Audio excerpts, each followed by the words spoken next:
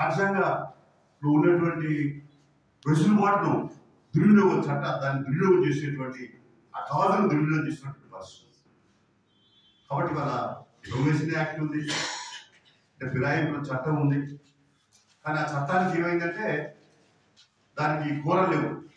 విషకూరలు లేవు. నాగుబాబు విషకూర ఉంటేనే నాగుబాబుకు ఎవరైనా భయపడతారు.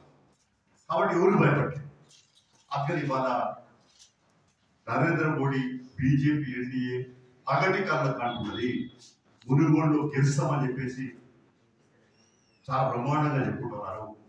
కానీ ఏదేమైనప్పటికీ కూడా ప్రజలకు అర్థమైపోయింది తెలిసిపోయింది.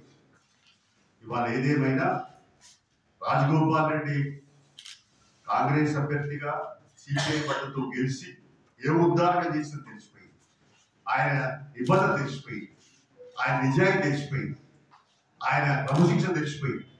అందుకని ఆయన పట్ల తిరస్కారం మొదలైంది. అందుకని ఇప్పుడు ఆయన కూతుర పంచాయతీ మొదలు పెడతా ఉన్నాడు. అక్కడక్కడ తిరుగుబాటు వస్తా ఉంటే ప్రజల నుంచి కూతుర పంచాయతీ మొదలు పెడతా ఉన్నాడు. అల్లుడు బావులాగా ఉపయోగించుకోవడానికి అన్నదమ్ముల అనుబంధాన్ని ఉపయోగించుకుంటా ఉన్నాడు. కాబట్టి ఈ రకంగా ఎన్ని ఉపయోగించుకున్నా కేంద్రం అధికారం వాళ్ళ మొత్తం సిఆర్పి బలాలు బలగాలు లేకుంటే ఇంకా ఇతర రకాలుగా రకరకాలుగా దుర్వినియోగానికి పాల్పడుతున్నా ఎన్ని చక్రములు పెట్టినా ఏదేమైనా ఇవాళ ప్రజాస్వామ్యం గెలవాలా? మతోన్మాదం గెలవాలా? అనేటువంటి సవాల్. ఇవాళ నియంత్రణతో గెలవాలా?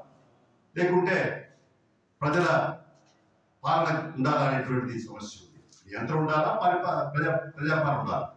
అనేటువంటి సవాల్ ఉంది. ఏదేమైనా మునుగోడు ప్రజలు మంచి తీర్పిస్తారు. టీఆర్ఎస్ను మరి భారీ విజయాలతో గెలిపిస్తారనే ఆశావాది వ్యక్తం చేస్తున్నాం.